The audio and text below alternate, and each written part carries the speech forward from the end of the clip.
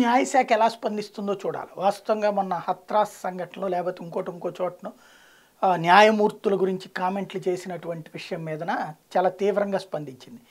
ఇప్పుడు కర్ణాటకలో హిజాబ్ అంశం దాని మీదన ధర్మాసనమే విచారించింది తీర్పు ఇచ్చింది ఆ తీర్పు మీదన సుప్రీంకోర్టులో సవాల్ చేశారు. సుప్రీంకోర్టు తక్షణ విచారణ అవసరం లేదంటూ హోలీ తర్వాత విచారిస్తామని హోలీ అయిపోయింది. రేపు సోమవారం విచారణకు వచ్చే అవకాశం ఉంది. అయితే ఈలోపుగా లోపుగా జ్యుడిషియరీని బెదిరింపులకి దిగారు తమిళనాడుకు సంబంధించినటువంటి వ్యక్తి.